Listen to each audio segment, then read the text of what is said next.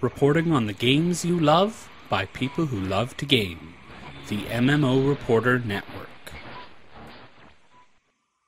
MMO Reporters PAX Prime coverage is brought to you by Dragon Fantasy, The Black Tome of Ice, a 16 bit styled JRPG coming soon on Steam, iOS, Android, 3DS, and Wii U. Hey everybody, Chris here from MMO Reporters. I'm visiting Trion Worlds today. I'm talking to Andrew Krausnick. He is the executive producer for Trove. Uh, we've chatted for, uh, I think, every year for the past few years about Trove, and now we've been talking about what's coming up the Shadow Tower. Very exciting. Let us know about that. Yeah, absolutely. So the Shadow Tower is us taking our Shadow Arenas to version 2.0. The idea here is every week you get a whole new Shadow Tower, everyone playing the game, and the challenge is to get as far as you can and you get unique rewards along the way. And then whoever beats that last floor the fastest, there's normal and hard mode. Last floor the fastest gets their name on the leaderboard. And if you're on the very top of that leaderboard, you get your name in a special color in chat and in game. So, yeah. That's pretty cool. And you were mentioning too when we were chatting earlier that um, it's going to start off as something that you can explore on your own, soloable, but then you're going to need some help if you want to beat it on hard mode. Absolutely. So uh, you can have up to eight people in a single floor, and it's actually capped at eight. Um, and then yeah, so it's not going to be doable without the best gear, eight people, maybe a little bit of luck or the right kind of team composition to get through that last floor, the very hardest level.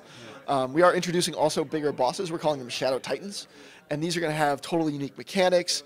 They're going to be huge. Uh, you're probably looking at one on screen right now. Uh, and this is going to be yeah, it's going to be amazing. This one's the Weeping Prophet. Um, it really just wants to give you a big hug. a big lo- love hug of death that that is correct. It's it's not happy with you. Yeah.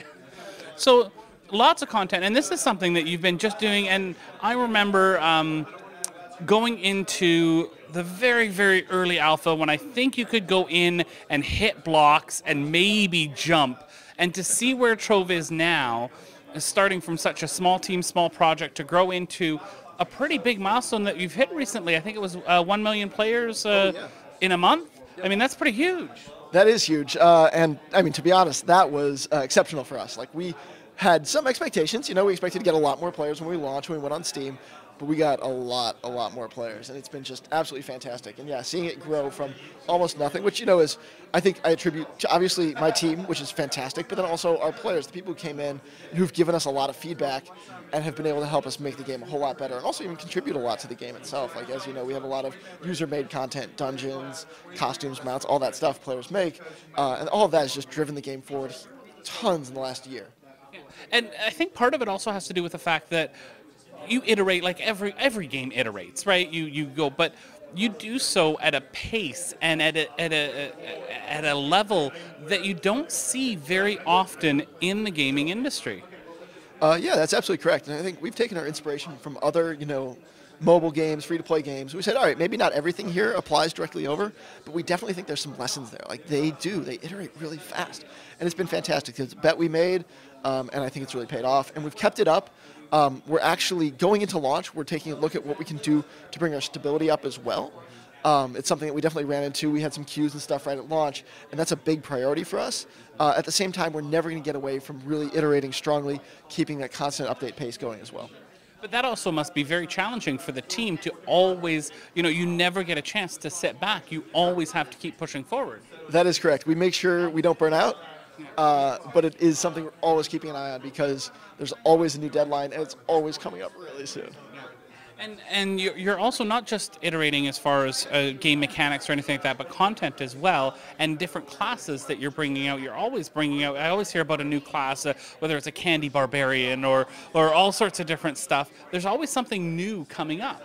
Oh yeah, definitely. That's that's also a big part of this whole thing, right? Like playing these online games, being a part of the process, uh, you don't want to get there and have it just be kind of like, oh, this, the game is done. You know, you want to see it continue to grow over time. And the whole point of having a team still in the game and people playing the game continuously for years and years and years really is to see it continue to grow.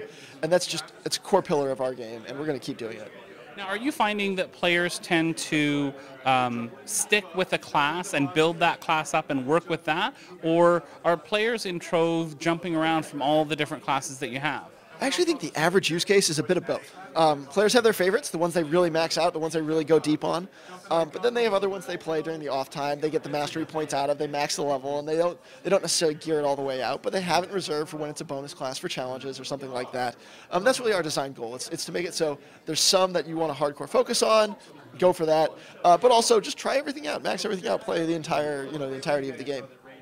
Well, thanks for chatting with us again. Uh, really appreciate taking a look at the new content and chatting with you again. It's always fun, and uh, lots of success in the future. All right, thanks a lot. We'll uh, see you next year.